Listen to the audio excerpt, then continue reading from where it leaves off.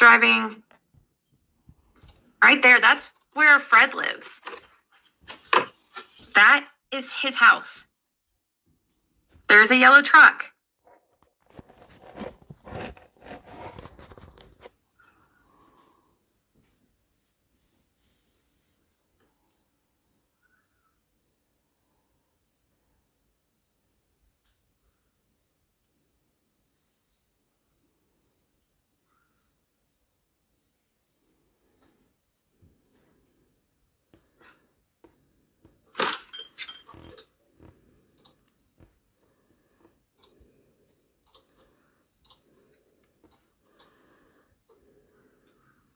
I just can't believe somebody really lives there.